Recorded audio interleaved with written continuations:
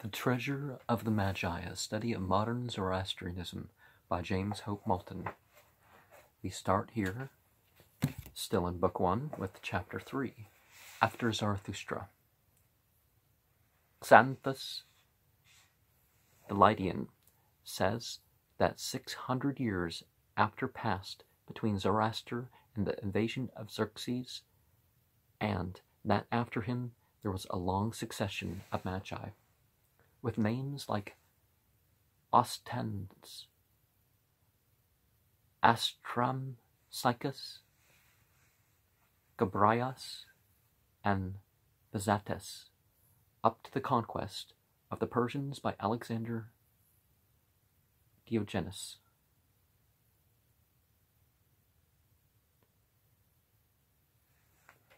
The Gathas, which have engaged our attentions exclusively so far, are a small part of the Avesta, the sacred book of the Parsis.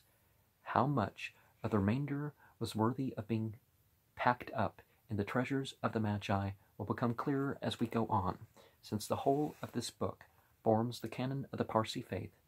Throughout its last 16 centuries, we are necessarily bound to examine it very carefully. The Parsi canon has a, surf- has a curious surface relation to the Jewish in that it includes everything that survives in an extinct sacred language.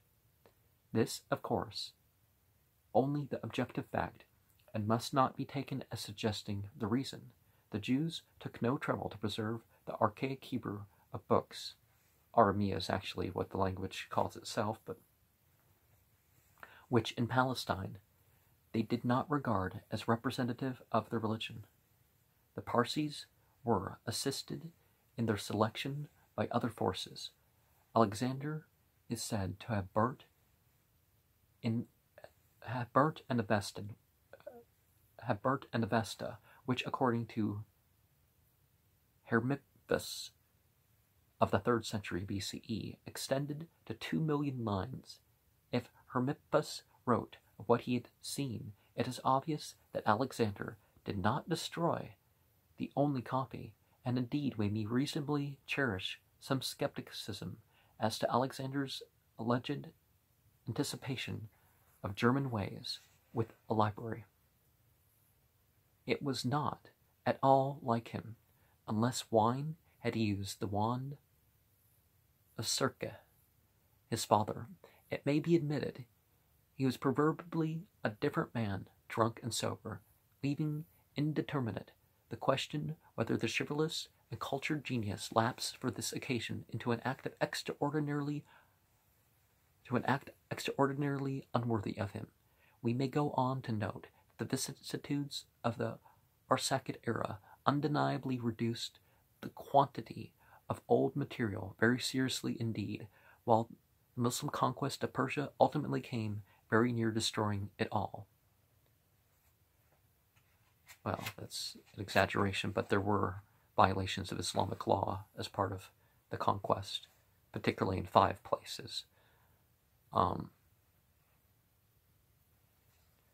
but Alexander the Great, everybody who wrote about him wanted to re-put him back into his culture. So Alexander the Great may not have been, you know, he may not have been your typical Greek, and that's why he was able to do what he did. And he may not have, you know, was there four supposedly historical accounts of him, but they were all slanted. Our extant catalogues of the contents of the Avesta in the Sassanian age show that we have lost an eminence, an immense mass of text. The description of this lost material, accessible especially in Dastur Darab's monumental edition of the Dinkard, does not enable us to decide whether we have to blame. Oh, the Denkard, the Denkard, does not enable us to decide whether we have to blame or bless the memory of the accursed Sikander, our anonymous successors who so largely reduced the bulk of what we are bound to read. With this summary, we may dismiss the question of the lost Avesta, uh, dis, of the lost Avesta, of the lost Avestan texts, since in this book we are not concerned with mere archaeology. The extant Avesta will give us quite enough to study, and it is the extant Avesta to which the present day Parsi must perforce make his appeal. The history of the term Avesta is much disputed and may not be decisively cleared up. It probably denotes the original text of which the Zend was an interpretation. The term Zend was often used in the West as a name for the Avestan language, but has now been abandoned as incorrect, which is regrettable, for its convenience is obvious. The Zend Avesta is still the name for the book itself, even in the translation to which English students are restricted, that by Mills and Darmesteter in Sacred Books of the East. What is said here about the Avesta must be limited strictly to information needed by a student desirous of following up a purely religious following up purely religious questions, matters of literary history and interpretation must be sought elsewhere. Now, let's not pretend religion is supposed to be a relationship with God and created. Well, how do you escape creation? Uh, everything of life is supposed to be a religious question. The most practical question emerging is one which logically have taken its place at the beginning of the last chapter. The Avesta is, in a dead language, known only to a small community of Western Orientalists and to a strangely small number of the Parsis who venerate it as scripture. How can an investigator, interested in religious questions only, unable to spare time for the complex and difficult study of Avestan dialect, obtain reliable data for his purpose? The answer is not very satisfactory. For the latter Avesta, the translation of Mills and Darmesteter, 1887 to 1895, is generally trustworthy, but it needs checking. Geldner's critical text of the original has appeared since the version was completed, and the lexical studies of the past 20 years have made very considerable differences in the rendering of numerous passages. In the Gathas, the matter is more serious. Professor Mills knows the native tradition better than anyone in East or West, and when we can understand his English, we get the best approximation to the meaning as it is accepted by the Parsis today. But whether it is Zarathustra's meaning is quite another matter.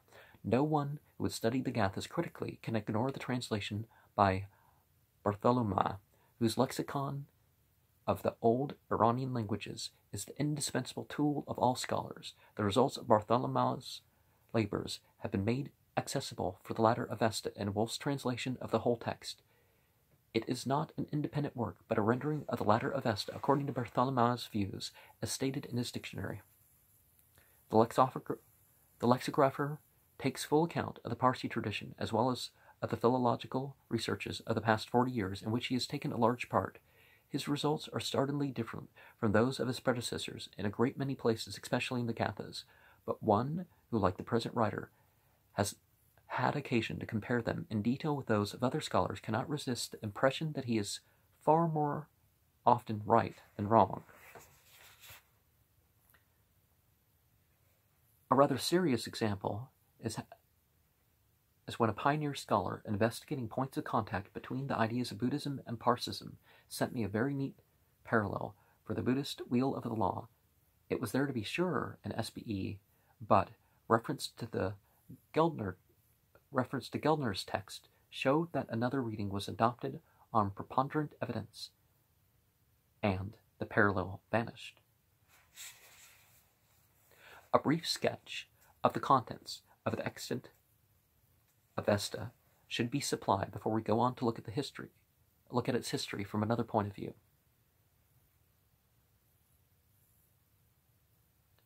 As the reader of the previous chapter has observed, the hymns of Zarathustra are embedded in the yasna, worship, a sort of prayer book, in which the hymns are numbered as chapters, ha. The five gathas are has. 28 to 34, 43 to 46, 47 to 50, 51, and 53. Has 35 through 42 are the Gathas, uh, uh, are the Gatha of the seven Has. Gathna Haptang Haiti. Now divide now divided into eight sections. That's a strange burp. Actually, more or less a normal burp, but this is in prose, but in the Gathic dialect, and presumably much and presumably much older than the latter Avesta in general, the dialect of which is decidedly of less archaic character. The rest of the Yasna consists in miscellaneous prayers, with Yazamadi, we worship, recurrent. There are also pieces that seem to belong rather to the Yashts, the next great division of the Vesta. These are 21 pieces, some of them very long, in praise of angels as regularized Parsi doctrine calls them. Yazata, worshipful. Remember the yes name for the Yazdi, Yazata, angel, Yazdan, worship. So they worship. But there's reason to think that these are the, you know, the jinn even in this usage. But Yashti, Yasht, songs of worship, and Yasna are all from the same root, Yaz, Sanskrit Yaj, Greek Azome Agyas. The rest of the Khorda Avesta, Little Avesta, includes the Afragon ritual, pieces of rather of a rather miscellaneous kind. Siraza invocations to the, to the Yazata who provides over the 30 days of the month, Nyayish petitions to powers of nature and gods, prayers for the five divisions of the day. A small section stands by itself, the Visparad, 24 pieces in honor of heavenly authorities, Ratu. The great section is Dvidevdat Vendidad, the Leviticus of the Parsi canon, with minor alluded text, mostly fragmentary. The relative bulk of these sections may be expressed by pages of Wolff's translation, in which pages are seven and a half by five inches, with only a line or two of references at the foot. The Yasna, without the five gathas, occupies 102 pages, the Yashts 146. The Videvdat 123, and the rest only 57 in all. Wolff, unfortunately, does not include the fragments which Geldner did not print in the Great Critical Edition. Darmesteter, accordingly, has in the English version a considerable amount of matter which cannot be found in the latter translation. Okay, so I'm going to close there, but um, certainly people tried to compile the Bibles of what was said in religious history in various cultures, and while there may be flaws with some of that, it's it was a good thing they tried to preserve what existed.